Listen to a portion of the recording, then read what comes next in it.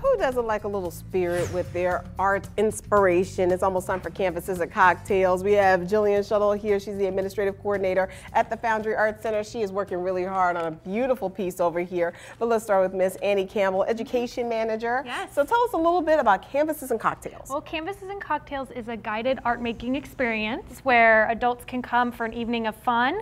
We have little art projects planned every month. They, are different, they change every month. Um, and we encourage them to bring their alcohol of choice, cocktail, beer, Ooh. wine, relax, and um, we'll take you step by step through the evening's project. So how many people can sign up for? Because I know some people they might want to do like a Absolutely. bridal shower or something. Oh yes, we can accommodate to almost 30 people. Oh, Yes.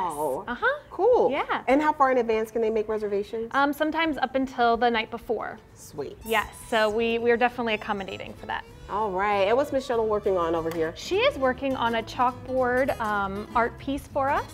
So in October, this is going to be our project, Uh-huh. October 19th. So each student will get to uh, have their own chalkboard and we'll teach them some lettering and design and drawing and they can choose to either take it home and work on some other pieces or make it permanent.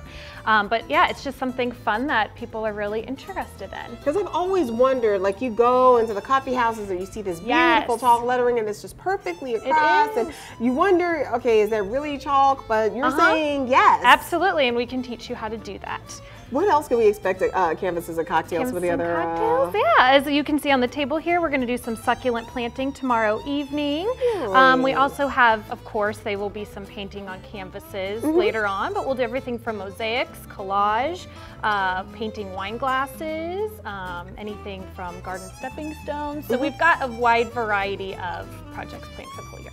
I look at your website and I, it looks so much like a museum, but it's so much more hands-on at the Foundry, right? Absolutely, yes. So whenever we have events throughout the year, either free or some of them are ticketed events, we always try and have some kind of education component added. So something for the kids, something for family members, but a whole experience for everyone to enjoy.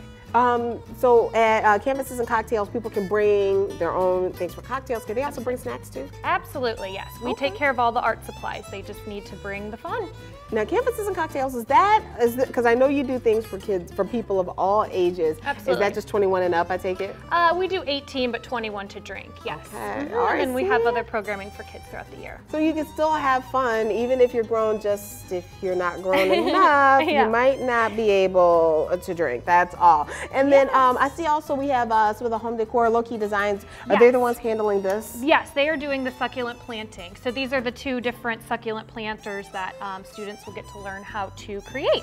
They get to choose everything from the box um, or the uh, hanging piece and succulent and all the little rocks and moss that goes in it. So just something a little different um, that we are trying out this year. All right, everybody, we have canvases and cocktails at the Foundry Arts Center. They're located at 520 North Main, uh, North Main Center. They will have this on Wednesday, October 19th. The sketching, the chalk sketching, 6 to 8 p.m. in mm-hmm. St. Charles, 636 255 0270, foundryartscenter.org. And also, don't forget, tomorrow is the succulent planting. It is, yes. Tomorrow's the succulent planting. Yeah. So that means you guys can still keep your area green even as things kind of start turning gold and red outside. And also remember, you can do chalk pieces. No need to feel inferior. They'll teach you how here on the 9 a.m. show.